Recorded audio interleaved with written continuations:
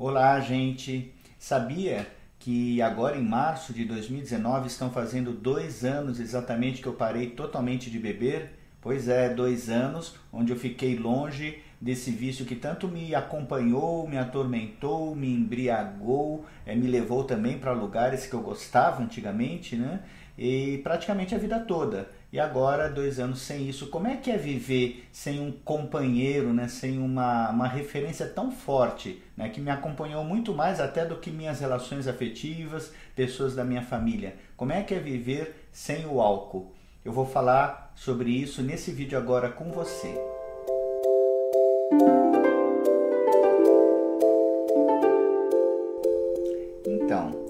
sem o álcool no começo realmente é bem difícil, não dá para mentir, né? É, a gente está acostumado a ir nos bares, a ir nos restaurantes, a ir nas festas de família. Nós temos os amigos atrelados também ao álcool, então a gente já tem a companhia de amigos que gostam de participar desse ritual do alcoolismo, porque o alcoolismo é um ritual e para alguns dos amigos eles não são alcoólicos, eles conseguem é, beber socialmente, mas a gente acaba extrapolando. Então a gente sempre está andando com amigos e nós que somos alcoólicos nos reconhecemos, né, que somos essas pessoas que não conseguimos dizer chega, para, e a gente vê sempre o álcool nos dominando, a gente entra nesses ambientes e acaba se perdendo. É, então, um dos primeiros é, caminhos para a gente conseguir se afastando do álcool é sim deixar alguns tipos de ambiente, é deixar alguns tipos de amigos, é começar também a, a controlar as festas que a gente vai, churrascos, é, coisas de família, final de ano, é pensar muito bem como é que eu vou agir durante essas festas, porque a tentação é grande. Né? O álcool nos chama, o álcool quer que a gente faça companhia a ele e a gente gosta desse estado da embriaguez, a gente gosta daquela situação onde nossa fala começa a se soltar, nossas inibições começam a se soltar. Então, o álcool trouxe alguns benefícios fortes para nós alcoólicos e a gente precisa, no começo, ter muita perseverança, muita garra e cortar isso.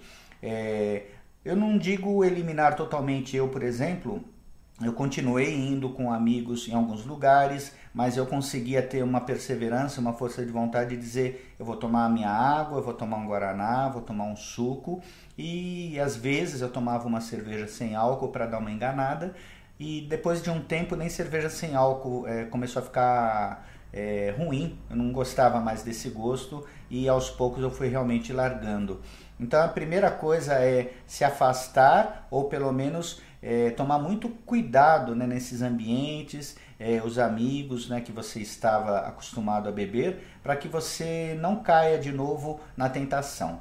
Se cair, né, se começar a beber, então, como nos alcoólicos anônimos, anônimos dizem, é, começa tudo de novo, somente por hoje. Não tenha culpa, não tenha assim raiva, não fique magoado porque você não conseguiu dar conta. Começa tudo de novo. Mas procure evitar esses ambientes, essas amizades, essas situações onde você antigamente enchia a cara.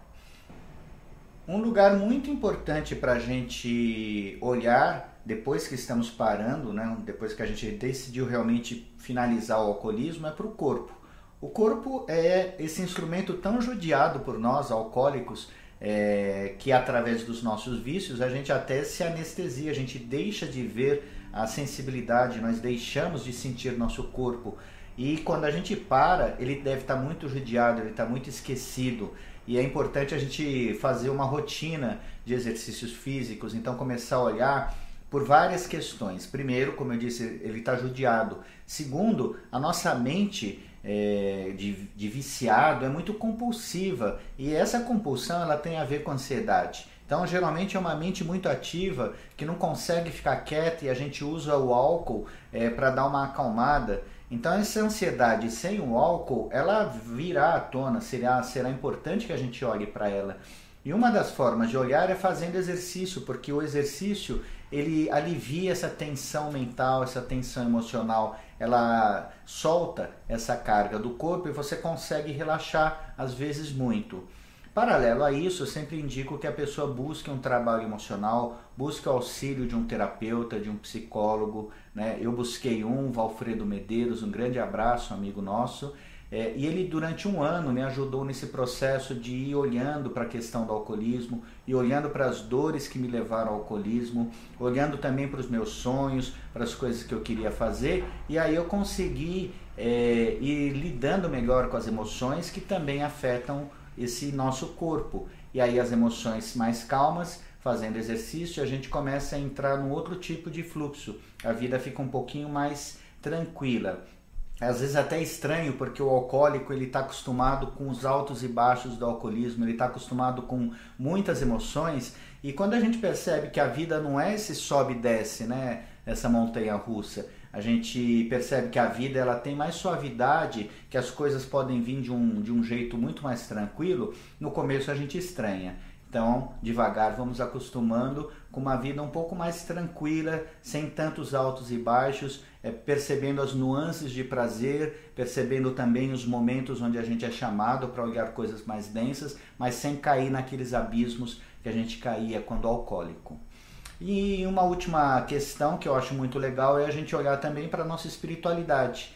Então, buscar uma religião seria legal, ou buscar um caminho que te abasteça internamente, não precisa ser exatamente uma religião. Às vezes, buscar oração, buscar a meditação também vai ajudar você a se conectar com algo maior dentro de si e passar por essa fase com mais equilíbrio, mais tranquilidade.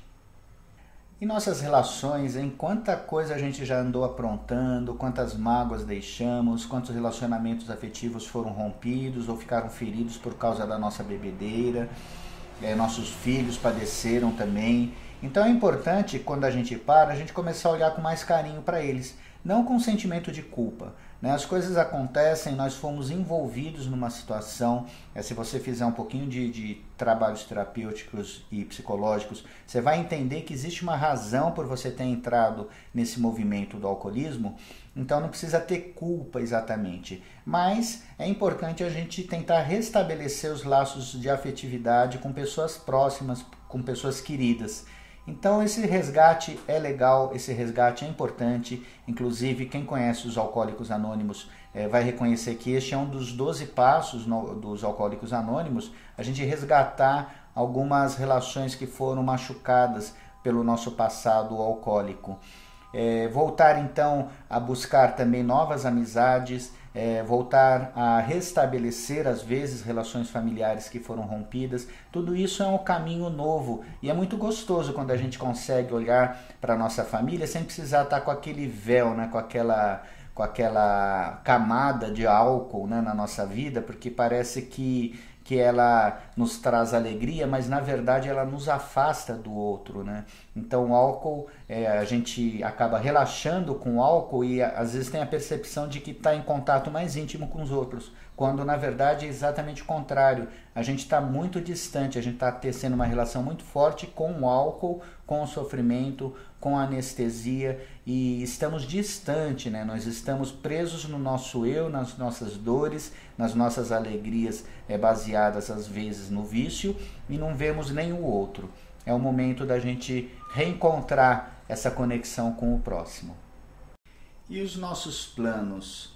O alcoolismo ele tira muito dos planos do alcoólico.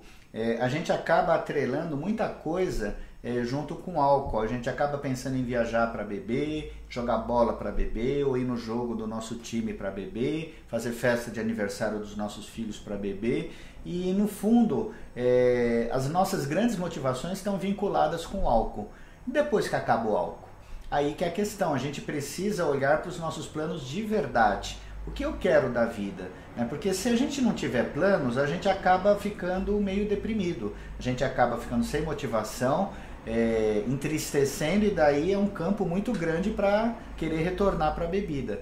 Então, pensar é, nos meus planos financeiros, nos meus planos profissionais, é, nos meus planos de relacionamento, seja afetivo, seja no relacionamento familiar ou com amigos, olhar para aquilo que eu quero fazer com o meu corpo, a minha saúde, é fazer planos de viagem, fazer planos de lazer, observar cursos, coisas que eu quero fazer, é, aprender coisas novas. Então, tudo isso vai nos motivar é, para que a gente fique afastado né, desse limbo né, que o alcoolismo nos provoca, esse lugar é, que acaba nos atraindo para a depressão, é, para a falta de, de sonhos E aí a gente começa a se motivar. A própria vida começa a nos dar alimento. Aos poucos você vai perceber que você começa a caminhar, que você começa a, a se divertir com a própria vida, que você começa a ter aquela alegria que antes o álcool proporcionava com coisas mais simples. Né? Brincar na praia, jogar uma bola,